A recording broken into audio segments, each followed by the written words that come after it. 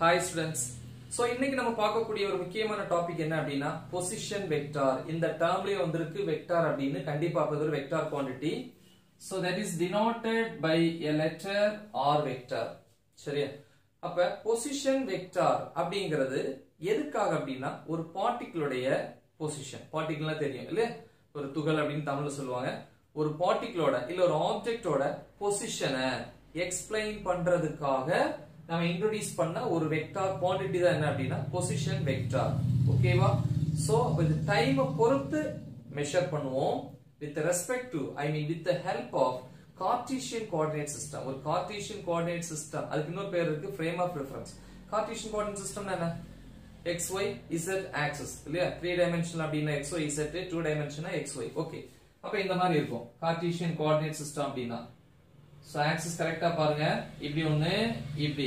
இது எக்ஸ் இது ஒய் இது இசட் எல்லா ஆக்சஸுமே பர்பண்டிகுலர் டு ஈச் அதர் உடனே சொல்லுவீங்க சார் ஒய்யும் இசட்டும் ஓகே 90 இது எப்படி சார் 90 90 விட அதிகமா இருக்கு. போர்டில் வரையும் போது அப்படி. மத்தபடி ஆக்சஸ் எப்படி இருக்கும். இந்த மாதிரி இருக்கும். இதுதான் எக்ஸ் எக்ஸ் ஒய் இசட் பாருங்க. எக்ஸும் ஒய்க்கு இடையில 90 இசட்டும் எக்ஸும் 90 எல்லாமே 90 பட் போர்டில் இந்த மாதிரி நம்ம வரைய முடியாதுங்கிறதுக்காக தான் ஏதாவது ஒரு சைடு என்ன பண்றோம்? இப்படி சாச் வரைகிறோமே தவிர மற்றபடி மூணு ஆக்சஸுமே பர்பெண்டிகுலர் டு ஈச் அதர் அப்படின்னு சொல்லும் சரியா? ஓகே அப்ப இந்த எக்ஸ் ஆக்சஸ்ல வந்து எக்ஸ் ஆக்சஸோட யூனிட் வெக்டார் இது ஐ கேப் ஒய் ஆக்சிஸ் நான் சொல்லி கொடுத்துருப்பேன் ஜே கேப் இசட் ஆக்சிஸ்னா கே கேப் அப்ப ஆக்சிஸ் எல்லாம் பர்பெண்டிகுலரா இருக்கிறதுனால அந்த ஆக்சஸ்ல இருக்கக்கூடிய unit vectors i cap j cap k cap perpendicular mutually perpendicular. So the unit vectors are called what? Orthogonal unit vectors அப்படின்னு சொல்லுவாங்க. அதுவும் நம்ம எடுக்கக்கூடிய கார்டீசியன் கோஆர்டினேட் சிஸ்டம் வந்து right handed Cartesian coordinate system பிசிக்ஸ்ல சொல்லியிருப்பேன் லெஃப்ட் ஹேண்டட் இருக்கு. But நம்ம எக்ஸ்பிளனேஷனுக்கு எப்பவுமே ரைட் ஹேண்டட் தான் எடுப்போம். ஏன் அப்படின்னா அதை கொடுத்துருக்கோம். எப்படி இருந்தா அது ரைட் ஹேண்டட் அப்படின்னு சொல்லியிருக்கேன். இல்ல எப்படி இருந்தா? The axis should be drawn in anti clockwise direction. இல்லையா பாருங்க.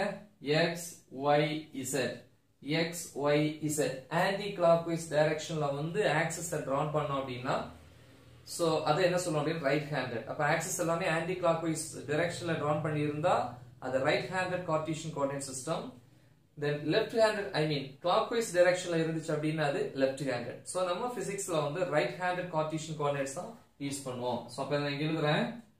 Right handed Cartesian coordinate system.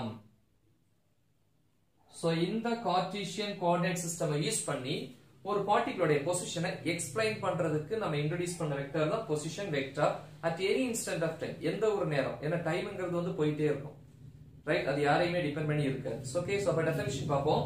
Position வெக்டர்ங்கிறது என்னது? It is a vector which denotes இது எதை டினோட் பண்ணோம் எதை ஸ்பெசிஃபை பண்ணோம் denotes the position of a particle இதான் முக்கியம் position of a particle இதான் key point position of a particle at any instant of time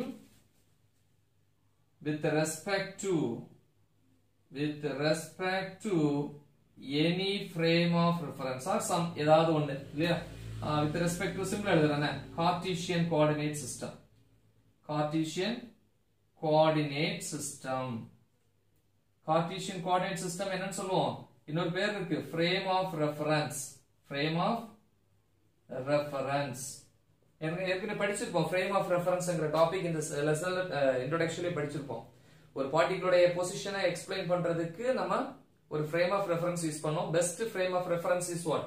Cartesian coordinate system. There are three axes x y z axis. இந்த ஆக்சஸோட ஹெல்ப்போட டைமை பொறுத்து ஒரு பார்ட்டிகளுடைய பொசிஷனை explain பண்றதுக்காக தான் இந்த பொசிஷன் வெக்டரை இன்ட்ரோடியூஸ் பண்றோம். சரி. இப்ப ஸ்டார்டிங்ல பார்ட்டிகிள் இங்க இருக்கும். ஆரிஜின்ல இருக்கும். ஜீரோ அப்புறம் என்ன ஆகும்? ரெஸ்ட்ல இருக்கு ஸ்டார்டிங்ல அதுக்கப்புறம் என்ன ஆகும்? ஜீரோனா இந்த இடத்துல ரெஸ்ட் அப்படின்னு எழுதலாம். இல்லையா? இதுனா ரெஸ்ட் ஓகே இப்போ இந்த பார்ட்டிகிள் என்ன ஆகுது? மூவ் ஆகுது. இப்படி மூவ் ஆகி இப்படியே போகுது. போயிட்டே இருக்கு. இப்போ இந்த இடத்துல ரீச் ஆகுது அப்படின்னா இந்த பாயிண்ட் தான் p position of the particle. That is denoted by letter p இங்க இருந்து இங்க வரைக்கும் கூடிய அந்த டிஸ்டன்ஸ் ஆர் ஆர் டிஸ்பிளேஸ்மெண்ட் சொல்லலாம் ஏன்னா டிஸ்டன்ஸ் இருக்கு டிரெக்ஷன் இருக்கு. சோ ஆர் வெக்டார் இந்த ஆர் வெக்டார் தான் பொசிஷன் வெக்டார்னு சொல்லுவோம். இந்த டிஸ்டன்ஸ்ங்கிறது எந்த ஆக்சிஸ் ஒய் இசட் பிளேன்ல மட்டும் இல்ல. பாருங்க ஒய்க்கு இசட்டுக்கு இடையில இருக்குன்னு நினைப்பீங்க. கண்டிப்பா கிடையாது. மூணு ஆக்சிஸ் யூஸ் பண்றோம். எக்ஸாம்பிள் பாருங்க. இந்த பாருங்க. இசட் ஆக்சிஸ் இதா இருக்கு. இது என்ன ஆக்சிஸ் ஒய் ஆக்சிஸ் இது வந்து எக்ஸ் ஆக்சிஸ் மூணு ஆக்சிஸ் எப்படி இருக்கு? பர்பர்டிகுலரா இருக்கு. இப்ப பாருங்க ஒரு பார்ட்டிகிள் இந்த இடத்துல இருக்கு. இந்த இடம். இந்த இடத்துல இருக்கு அப்படின்னா இந்த பார்ட்டிகிள் இருக்கக்கூடிய பாயிண்ட் தான் பி அப்ப இந்த பாயிண்ட்ங்கிறது எக்ஸ்லயும் இருக்கு ஒய்லயும் இருக்கும் இசட்லயும் இருக்கும்.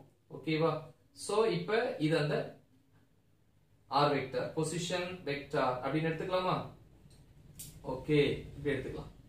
இதுதான் இந்த ஆர் வெக்டர் பாருங்க ஆர் வெக்டர் அப்ப இந்த பாயிண்ட் அப்ப இதுங்கிறது எக்ஸ் ஆக்சிஸ்ல இவ்வளவு டிஸ்டன்ஸ்ல இருக்கு. ஒய் ஆக்சிஸ்ல இவ்வளவு டிஸ்டன்ஸ் இருக்கு.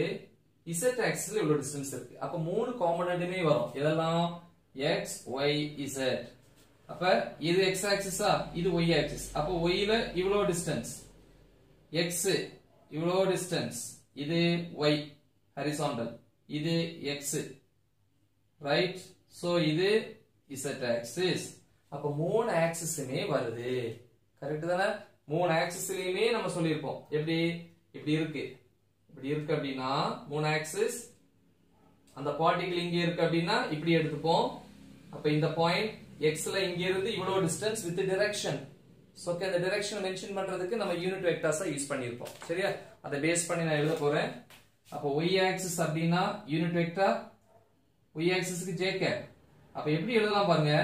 Position vector can be written as r vector equal to இந்த ஆர் வெக்டார்ங்கிறது எக்ஸ் இருக்கு ஒய் இருக்கு இசட் மூணு காம்பனண்ட்லயே பிரிஞ்சுருக்கு.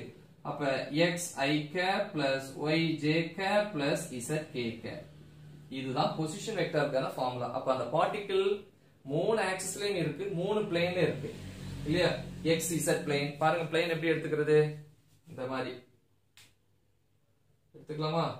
சோ இந்த மாதிரி இருக்கு அப்படின்னா இந்த பிளேன்ல இருக்கு. அந்த பார்ட்டிகிள் இங்க இருக்கு அப்படின்னா. X y plane then next y z plane then x z plane right மூணு பிளேன்ல இருக்கு. சோ அது வந்து தெளிவா பாத்துக்கோங்க அப்ப எக்ஸ் ஒய் இசட்ங்கிறது வந்து components of what the position vector ஐஜேகேங்கிறது வந்து யூனிட் வெக்டர்ஸ் ரைட் சோ இது ஒரு முக்கியமான ஒரு டாபிக் இது த்ரீ டைமென்ஷன்ல எக்ஸ்பிளைன் பண்ணியிருக்கேன். டூ டைமென்ஷனா இருந்துச்சு அப்படின்னா இசட் வராது. Only x i cap plus y j cap ஒரே ஒரு ஆக்சிஸ் மட்டும் இருந்துச்சு அப்படின்னா simply r vector is equal to x i cap வேணுங்க நான் எழுதுறேன். ஒன் டைமென்ஷன் அப்படின்னா ஒன் டைமென்ஷனா இருந்துச்சு அப்படின்னா position of a particle I mean position vector r vector equal to x i cap two டைமென்ஷனா இருந்துச்சு அப்படின்னா டூ டைமென்ஷன் இது புக்ல இல்ல. R vector is equal to x i cap plus y j cap ரெண்டே ரெண்டு ஆக்சஸ் வரும். இதே இது த்ரீ டைமென்ஷன் த்ரீ டைமென்ஷன்னா த்ரீ ஆக்சஸ் இது த்ரீ டைமென்ஷன் இல்லையா பார்ட்டிஷன் கோஆர்டினேட் சிஸ்டம் அப்ப three components x i cap plus y j cap plus z k cap that's it முக்கியமான ஒண்ணு இது ரிலேட்டடா நீ ப்ராப்ளம்ஸ் வரும் சோ அதை நம்ம நெக்ஸ்ட் கிளாஸ்ல பார்ப்போம் ஆல் தி பெஸ்ட்